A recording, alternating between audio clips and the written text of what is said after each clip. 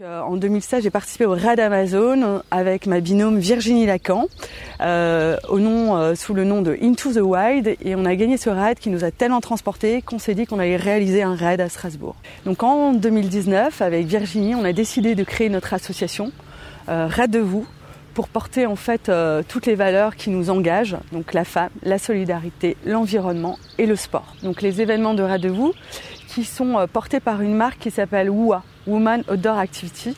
Donc en fait le programme, euh, le 20, le vendredi 20, il y aura toutes les épreuves. Donc on commencera euh, par les accueillir. Les 33 équipes, en fait, euh, elles sont accueillies à partir de 8 heures au château de Pourtalès avec un pot d'accueil, une remise des welcome bags et puis un briefing par rapport aux épreuves qui vont se dérouler. À 11 heures, départ de l'épreuve kayak à partir de Strasbourg au Vive jusqu'au moulin de la Vente-Senot pour après un pot d'accueil de nouveau, un repas pour un, pour un départ à 15h pour le trail.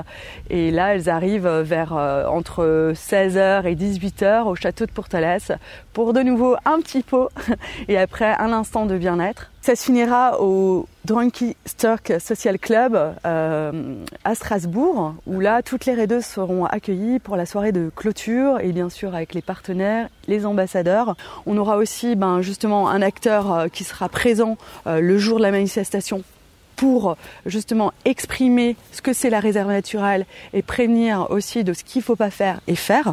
Donc euh, c'est pour ça que en fait ce qu'on met en avant aussi à travers les événements Raid de vous et OUA, c'est euh, de tisser des liens avec euh, les acteurs de l'environnement, donc que ce soit l'ONF, la réserve naturelle, et ça, c'est important pour nous parce que c'est travailler main dans la main et aussi transmettre en fait l'information à ce public qui ne sait pas qu'on peut plus faire, on peut plus aller n'importe où. Et euh, au lieu de dire c'est interdit, je pense que c'est important de savoir sensibiliser et de se servir du sport pour amener les choses correctement.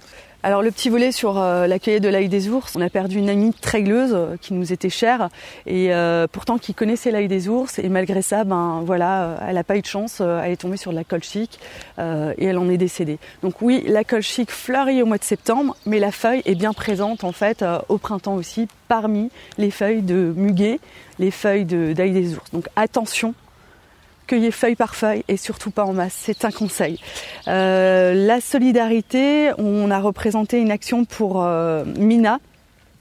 Euh, qui a une fille qui est décédée, qui s'est envolée en 2020 suite à sa maladie épidermolyse bulleuse, qui rend la peau aussi fragile que des, que des ailes de papillon. Donc pour justement pallier à sa souffrance, elle a écrit des histoires avec son orthophoniste et elle avait un rêve, c'était de les éditer. Donc pour le Trail de la Tour, on est venu en fait dans cette action, on a édité ces histoires qu'on a transmises à toutes ces traileuses. Donc nous on est là en soutien et surtout aussi pour continuer à distribuer l'histoire de Dina.